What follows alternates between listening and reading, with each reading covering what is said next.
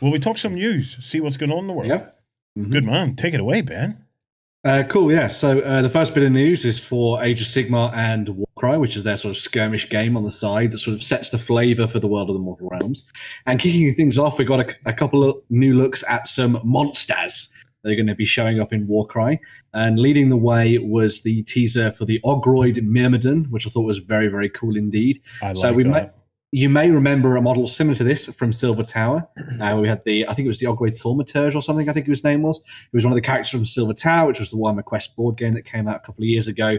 Now they're sort of messing around with that and playing around with some of the different sort of styles with this model. And of course, now you've got a little bit more of a martial one here rather than a spellcaster, which looks very, very cool indeed.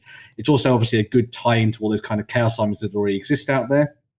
And as with most stuff from Warcry, it'll probably see itself appearing in Age of Sigmar later on as well. But we'll get to that a little bit later. What I like about that in particular, Ben, is Mm. it hasn't been rolled in a bits box.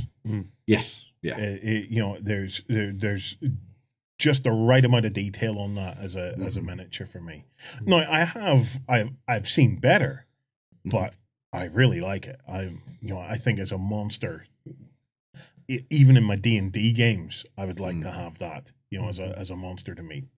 Yeah, I think they've got. I think they've got it looking really fearsome and deadly, and I love the way that they've sc- styled it. It used a lot of sort of um, sort of hints and things that we've seen from other monsters created by other companies as well, like zealots, minotaurs, and that kind of thing. And I think it's tr- transferred over really nicely into what you see here, and it kind of gives that edge of chaos that I think everyone really enjoyed from sort of like the final days of seventh and eighth edition and stuff, moving into uh, Age of Sigmar as it is now. So it's very cool. Yeah, great stuff. What's next?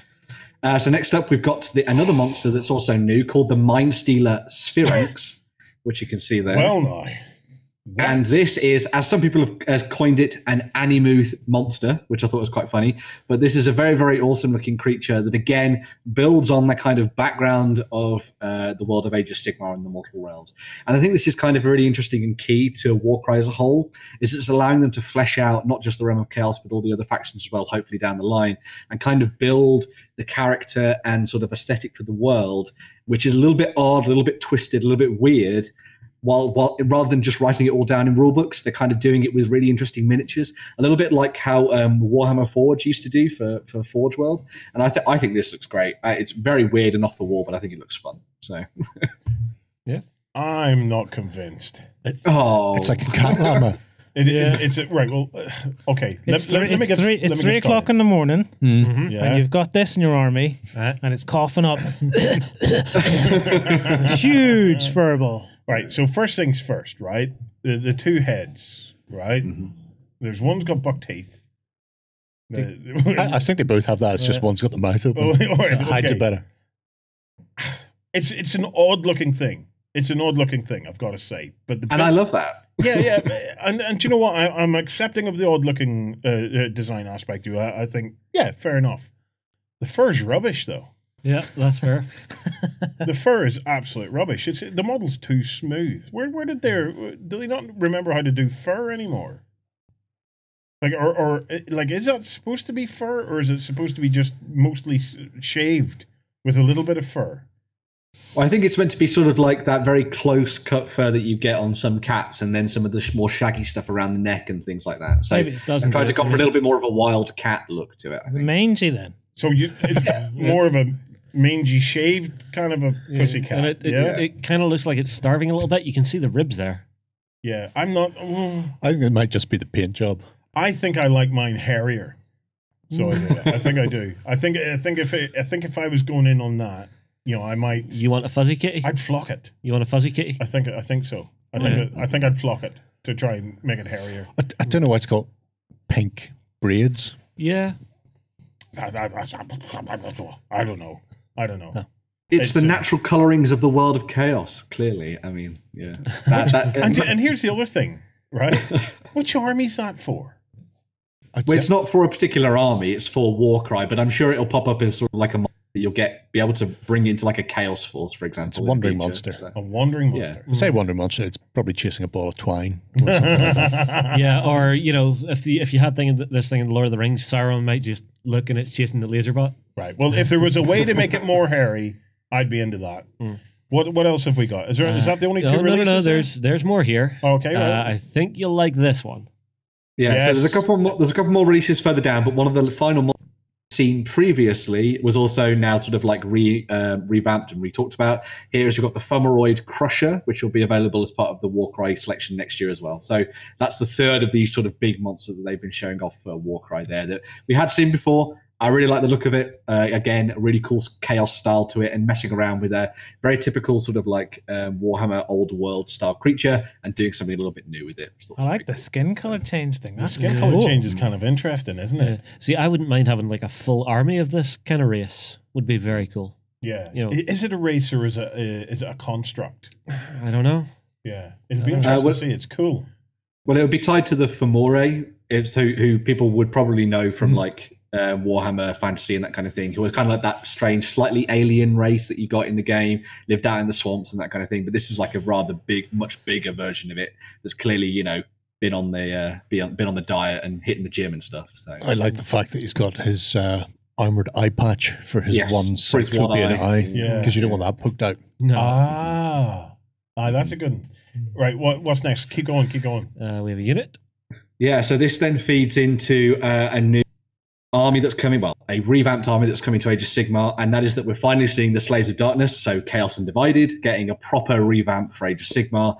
Those kind of like tight, um, stocky looking Chaos Warriors have been given a little bit more of a dynamic look to them, and you can see some of them there in that set that you can see. So they're very, very typical of the kind of Chaos Warriors that you would have seen. Maybe if you saw a lot of the old posters from Warhammer Fantasy with, um, you know, that they got done by the likes of Adrian Smith, they kind of transferred over that look of the Chaos Warriors Yeah. into the mix here, as you can see here. And then that leads on to a revamp of the Chaos Knights as well. I Uh, love this is a I- big one. Well, wait before you go there. Yeah. I love these. Yeah, the variation in these really feels like it fits with the narrative. That It's Yeah. uh, and I just there's there uh, the, some of these poses are lovely, Mhm. absolutely lovely. Yeah, big fan of those. All right, now the big one because I know you love the Chaos Knights War. I do. Yeah. So, oh yes, Oh, mama!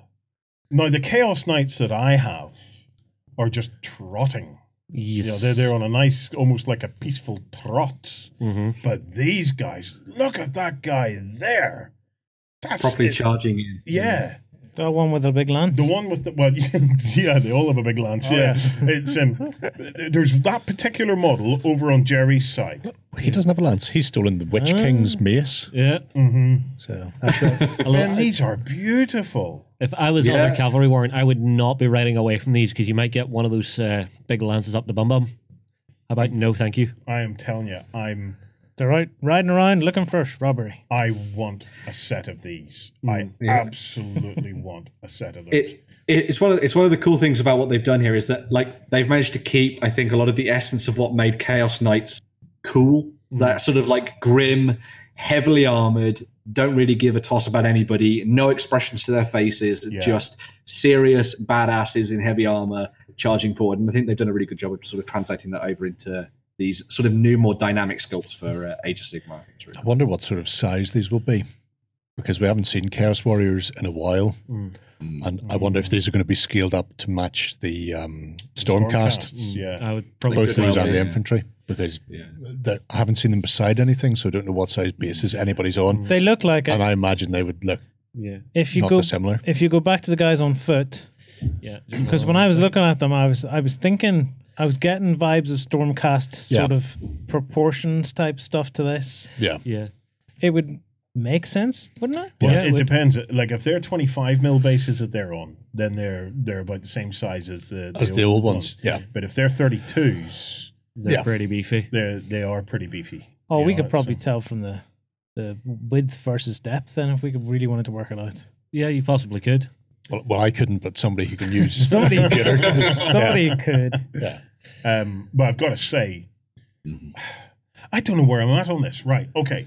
So either right. Let me let me. I've got a quandary. Mm. Half of me wants them to be a similar size to the old uh, chaos stuff.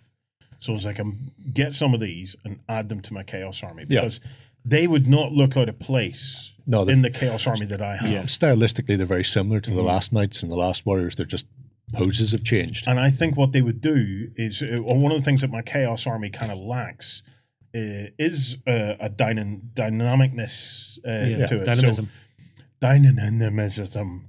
So give adding, especially that cavalry. Um, Yeah. You know, I'd love to add the the other stuff, but the, the, it, it- even one box of each added would give me a substantial boost to the size of my uh, dark army. Yeah, but if they are upscaled, Well, here's the thing: the other half of me would like to see them upscaled to Sigmar standard. In, in Biggenand. Yeah, Yeah. in Biggin because they will be absolutely gorgeous. However, it would mean that I would have to dump my army. yeah.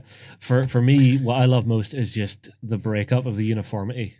Just every one of those guys feels like his own champion of chaos. Yeah. Mm. I like all the fabric. Yep. Working all the fabric in, like, look at that one near Jerry where it's attached to the front of the horse and stuff, Yeah, up around his mouth. I Around don't the know. reins. Yeah, that's all really cool looking. Yeah, as I say, it's it's really drawing on a lot of the sort of older artwork for Chaos War. I think is really nice to see. Uh, that goes sort of like further back than the sort of st- newer style that we're seeing for Age of Sigmar. So it's a nice callback to the world that was and stuff, Mhm. which is really cool. lovely. Um, Is that our lot on that Uh, I think there Well- might be more. Was there more? Yeah, it, yeah, it carries on to the final reveal because this is all going to be part of a getting started set for the new um, Chaos Slaves to Darkness. Mhm. And this is the new Chaos Lord, who's on top of his big albino beastie, as you can see there. There's no name for exactly what that creature is, but again, it's kind of like a little bit of a sort of um, a different chaosy take on the kind of style we've seen for some of the Stormcast Eternal Lords atop their, atop their Dracoths. And that kind I of thing. think I shall call that a lino. A It's lion a cross between a, a, a lizard and a rhino, so it'll be a, a lino. I was just going to call it a Trogdor, the Burninator. Oh, he doesn't have majesty. There's no wings there. He's not a wingling dragon. point. That's an exceptional model. Mhm. And, and that's the reason I think they're going to be upscaled to Stormcast. I Yeah. can see him sitting directly opposite his equivalent. Yes. When- yeah, when I seen that, I thought, there you go. There's your answer. They're probably being embiggened. Yeah, do you know what Games Workshop?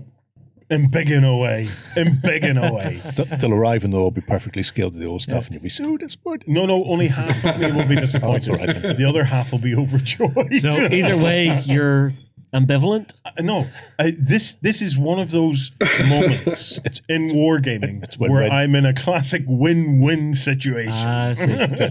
Doesn't matter what way they release it, you'll be happy. It's it, I can't I can't lose on this one, and and do you know what? That makes me feel epic.